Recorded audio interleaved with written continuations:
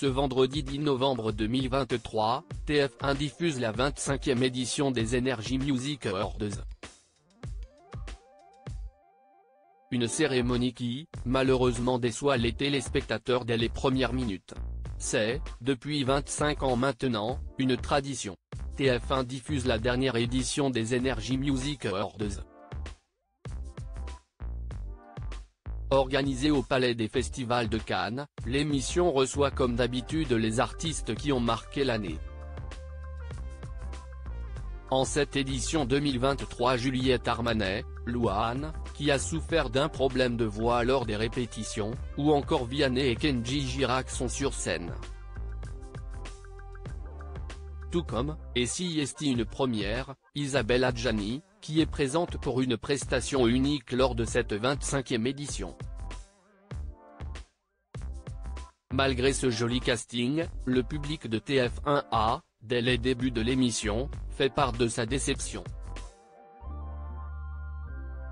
Les internautes déçus par le niveau des Energy Music Awards Le groupe italien Moneskin, grand vainqueur de l'Eurovision 2021, avait tout juste débuté sa prestation en ouverture du show que les premiers tweets ont commencé à pleuvoir, juste après que les internautes aient poussé un premier coup de gueule.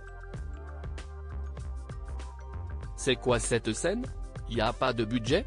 Il est vraiment temps que cette émission s'arrête.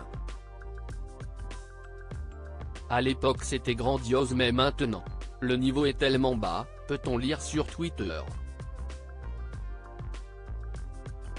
Pourvu que ça ne soit pas éclaté comme les années précédentes, a écrit un autre, tandis qu'un troisième a ajouté, les Energy Music Awards c'était le show le plus attendu de l'année, maintenant on regarde la déchéance, en critiquant sur Twitter.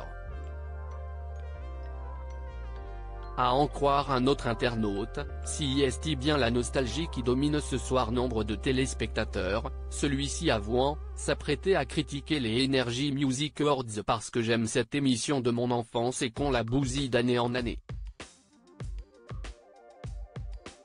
Les spectateurs nostalgiques du premier présentateur des Energy Music Awards si nombreux internautes critiquent donc cette 25e cérémonie des Energy Music Awards, sans toutefois réellement préciser ce qu'ils reprochent au show, certains avouent regretter les premières éditions, présentées par Anthony Cavana, je suis encore nostalgique des Energy Music Awards.